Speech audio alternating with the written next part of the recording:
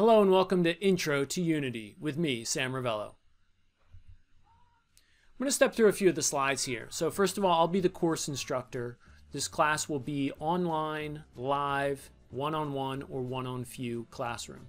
We'll be stepping through slides during the course. It will be lecture style. There'll also be an opportunity for each student to get a free copy of Unity, the tool we're going to use for the course to learn game development, and a sample project. We'll go through different areas of the sample project to learn all the concepts from A to Z. My mission is to educate and entertain with interactive technology, and it's my pleasure to take us on this journey through the course. I'm a Unity certified developer. I have over 20 years of experience making games from the creative side and the technical side. I've also taught at major universities and crafted online courses for Udemy and other online platforms. In this course, we'll look at Unity. Unity is a versatile game engine that's used for lots of different platforms, including iOS, Android, Steam, Windows, Switch, Xbox, PlayStation, all those consoles. We're going to learn to make games in this class.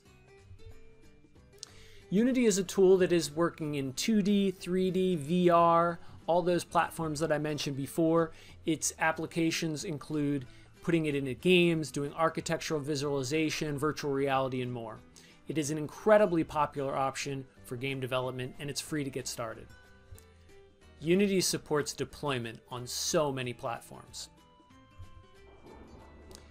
So what's built into Unity? Unity has 2D and 3D rendering of graphics, audio rendering as well, everything you'd want from input and output. There's a physics system that we can tap into with or without code, and there's a full C-sharp scripting API. About this course, there's no experience necessary. Bring your passion for games and your curiosity to learn. That's it. The course will be divided into three learning tracks. First, we'll learn the theory of each next area. Then we'll look in the editor, Unity, and coding editors as well, and learn how we would implement that. Lastly, we'll take a look at the code that works behind the scenes and allows us to do more advanced techniques. The course topics will come from a vast list of possible learning areas. We'll customize the content to meet our goals. The course will cover the essentials for game development. We'll concentrate on just what we need to get the simple game loop done and deployed on your target device, like your phone. During the course, we'll spend plenty of time inside the Unity editor. We'll learn about all of the major windows, tools, and utilities inside. We'll be able to play different demo scenes, learn how physics interacts with objects, and learn how we can code our own gaming solutions using these tools. And now some Unity inspiration.